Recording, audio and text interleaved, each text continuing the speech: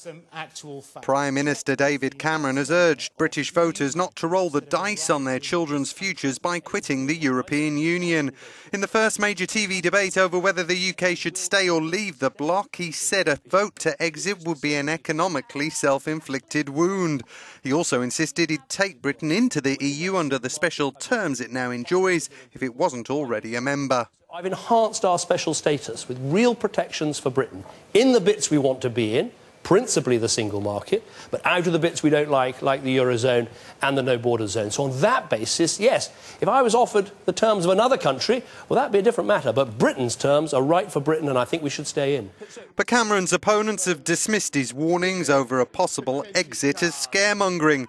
Earlier, prominent Leave campaigner Boris Johnson continued his push for the UK to quit the EU. What proportion of laws going through the Palace of Westminster do you think come from Brussels at the moment? Does anybody have an idea? Who'll give me, who'll give me, who'll give me 30%? Any advance on 30%? 30 advance on 30%. Shall I tell you the answer? It's not quite 75, say it's 60%. Meanwhile, in London, Britain's main opposition leader, Labour's Jeremy Corbyn, called on supporters to back the Remain campaign. Polls ahead of the June 23rd referendum on Britain's continued EU membership remain tight.